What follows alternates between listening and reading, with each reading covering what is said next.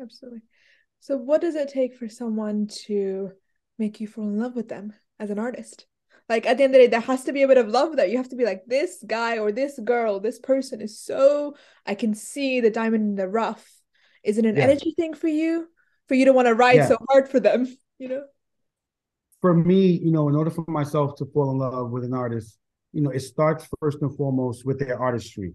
And with the artistry, that's anything. That that can come from the music, that can come from um, their charisma, that can come from their star quality, that can come from their aura, that mm-hmm. could come from, you know, whatever talent it is they have. Obviously, you know, you want you want you want your client, your artist to be talent driven, whereas, you know, obviously they're so talented that that speaks for itself. But it's not just about talent, right? There's all these other variables that live within an artist when an artist walks in the room, you know, and how they're um, received in the room, mm. you know, and the energy that they're giving and receiving.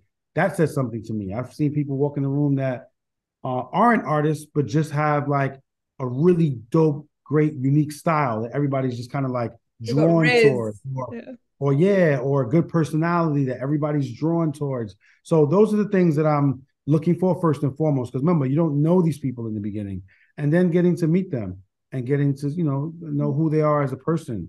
For me, it's like, what are your goals? What are your aspirations? Uh, what do you want to do? Do you want to change the world? How do you want to change the world? Mm. Um, do you want to change things in your neighborhood? Do you want to make music for now? do you mm. want to make music be a legacy artist forever? You know what I mean? So I kind of look at all those things, and then you know when those kind of things check out, of course it's it's energy, it's uh you said it earlier, and I love that you said it. You said it's like dating, right? It's like mm-hmm. I think that the industry is like also is like courting. You know what I mean? Yeah, and you know, you have you you court somebody. If you want to date a woman, what do you do? You court her, right? You ask to take her out. You take her out to some place that you know you want to impress her, uh, him or her rather. Um, you want to make sure that you you know everything's perfect. You want to make sure the vibe is right. You want to make sure you're courting them. Same thing when you're trying to sign an artist or sign someone, you're courting them. Yeah. The thing is, don't let that shit just be a honeymoon phase. You know what mm-hmm. I mean? Don't don't do that. And for the first three months or the first three years of your 10 year journey, you know, it's just great in the beginning, right? We've all heard that story. Mm-hmm. You know, mm-hmm. the first few months is always the best, the first year, whatever, you know, have those that same relationship, keep that same energy throughout. Mm-hmm. And you know, I'm just as excited. I'm just as ambitious. I'm just as driven. Mm-hmm. I'm just as, if not you know, more, because it deepens. If not more for me, ten like... years later than I am. Correctly, correct, correct, correct. So that's my thing. You know what I mean? But a lot of people, just like in relationships, after a while, tend to like you know lose interest.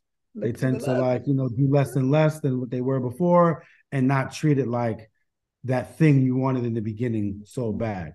Mm, beautifully put. Can't lose that. Uh, it's sacred, and you got to protect it, and you got to fight for it. You got to fight for each yeah. other, and then that's what matters. And also, I guess to answer your form, the simple answer to that is, I can't want this more than you do. I can't want success more than you do. I can't want, you know, I can't want it more than you do. I can want it just as much, or equally, or or you know, more in a sense of just by a little bit. But I mean, like, I can't be on hundred and you're on forty two as if everything's all good because then it, it, just mm-hmm. won't work. I'm not, you know, I think you have to be compatible with the person you're working with.